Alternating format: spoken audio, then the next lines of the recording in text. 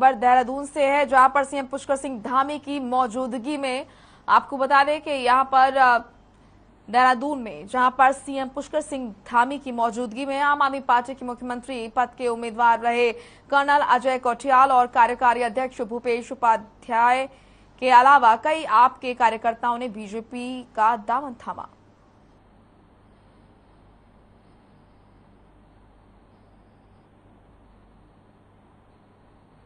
अध्यक्ष एवं पूर्व प्रत्याशी। विधानसभा का कोड भी हमारे बीच में है। आपको भी बुके देख के अध्यक्ष एवं पूर्व प्रत्याशी। विधानसभा का कोड भी हमारे बीच में है। आपको भी बुके देकर अध्यक्ष एवं पूर्व प्रत्याशी। विधान